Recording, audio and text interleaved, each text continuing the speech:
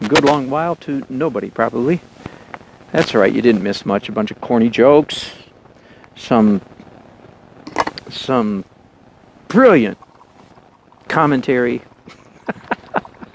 trust me, trust me. it was so good. Oh, I wish you could have been there. okay, as you can see, I'm nearly finished with a little plein air painting. I've been here, been painting, I believe, less than an hour and a half, so that's not bad. I hardly ever paint this size, um, but I decided to push myself. I decided that when I bought the canvas the other day. Said, okay, this would be good for me, yada, yada, yada. I don't like painting small, but it'd be good for me. Darn it. So I bought the canvas, and sure enough, I'm, I haven't died yet. It's going okay. Here's this trick I mentioned a couple days ago. Um, if you caught it or not, when you're painting foliage uh, from a distance, um, many times rolling the brush. This is this is kind of a almost a Bob Ross trick, by the way. Everybody should know all of Bob Ross's. Every artist should know all of Bob Ross's tricks. You just shouldn't use them too much. Too much is the, is the key. But it, the rolling the brush creates a nice bristly uh, texture that, that has the feeling of leaves better than um, brushing the brush.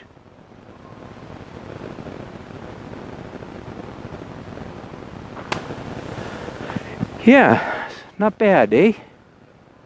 And again, I, am not bragging when when an artist says that. I really think it's the artist is pleased and surprised, frankly surprised.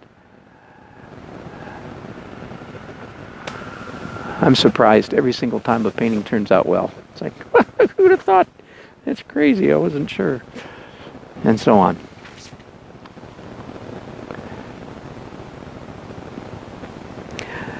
Few, I'm, I'm all the way, happily, I'm all the way down to final um, color highlights, color accents. Like one that is just, and, and, and how do you know where to put the color accents? The answer is the underpainting is talking to you. The underpainting tells you where to put these things. So this red here on this barn is underpainting. And it's it is saying to me loud and clear, it's saying more, more, more, put of us, put more of us. We want to be on there.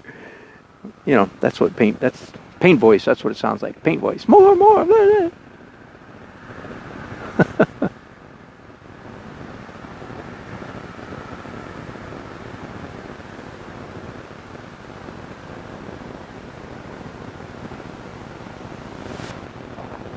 Yeah.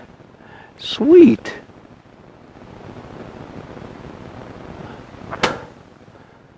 Sweet, sweet. I'm a little surprised, honestly. I'm a little surprised that this painting is turning out as as pleasant to me as it is. Uh,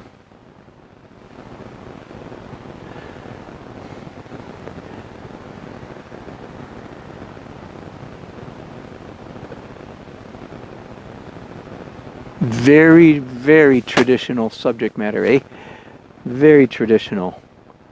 Um, I've learned my lesson though about about scorning such things and calling them cliche or or um, kitsch. My followers, my you guys have schooled me in that regard, and I thank you for it. I will not continue to make that mistake. I'll make lots of others, believe me, but I'm not going to make that one. So not I'm going to make excuses for um, a painting simply because the subject matter is very traditional. The goal, of course, is to take a traditional anything and do something extraordinary with it. That's the hard part. And of course, that is what I'm trying to do. Okay, I now have a, a duller uh, red on my brushes just to get a little bit of opacity mixed in over here with all the transparent underpainting stuff. So that's about an hour and a half of painting. Um, does it? Yeah, I guess. I was going to say, does it look like a Dan Nelson painting? And then I sort of answered it and said, yeah, I guess it does. It still has, there's no acrylic underpainting on this one. I just started with transparent oil.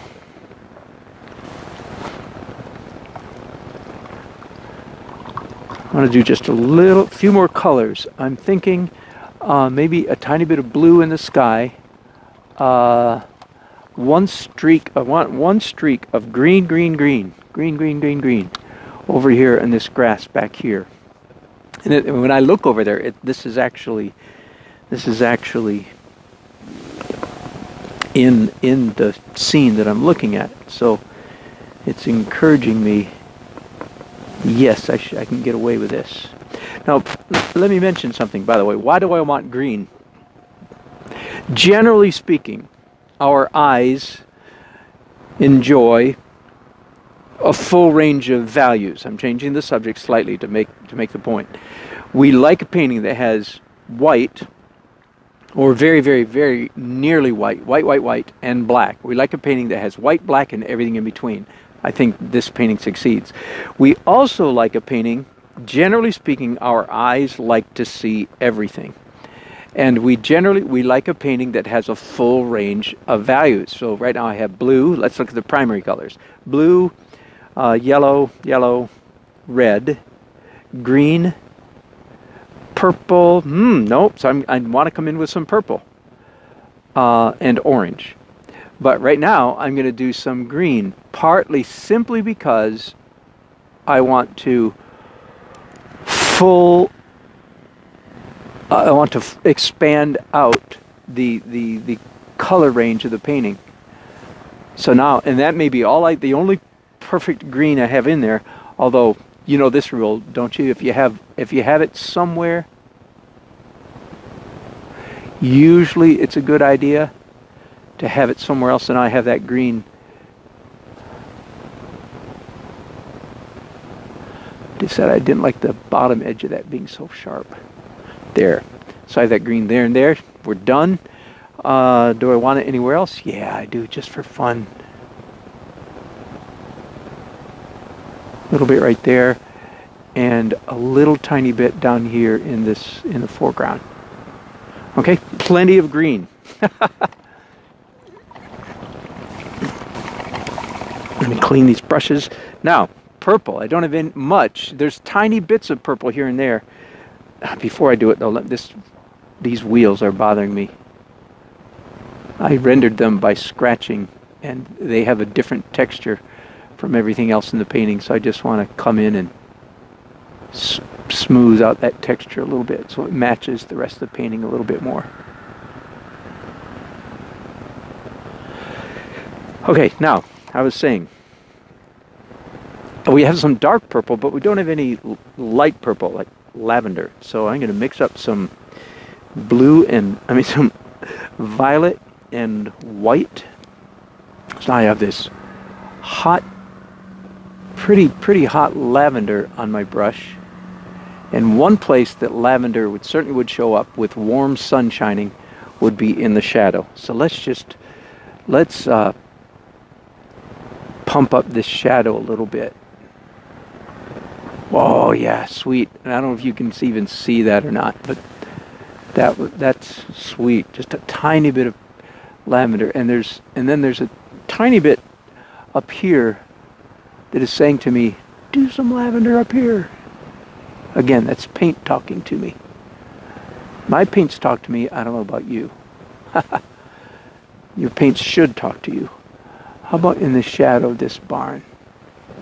So lavender, of course, on a on a day that the sun is warm, which is certainly what it was here, lavender can go in almost any shadow area. I'm going to mix up a darker version of it right now, darker purple, add more purple so it's a darker lavender.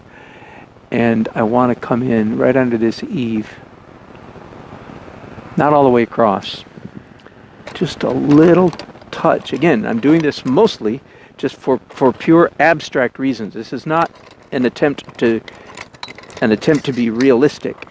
It's just an attempt to make a good painting. And I know that a little bit of lavender or purple up here will make it a more interesting painting. Yeah. And it did. And likewise down here. There, there, there.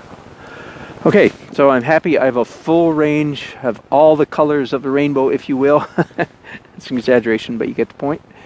And uh, blue. I that was I decided I I was talking about a little bit more color somewhere. Um, yeah, and I think I'm going to be dangerous for a minute. I'm mixing up ultramarine blue. The reason that's dangerous is because most of this blue that's here is quite phthalo-ish. So if I mix up an ultramarine, it just gives me a little bit of contrast, a little bit of, on the other hand, blue. On the other hand is always, when it comes to color,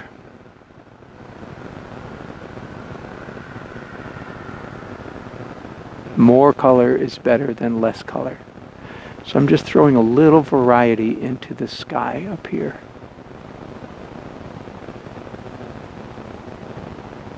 Gonna mix up a little bit more.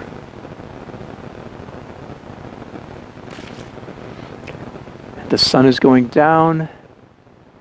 I'm losing my light. It's getting chilly. I'm very glad that the plan was to do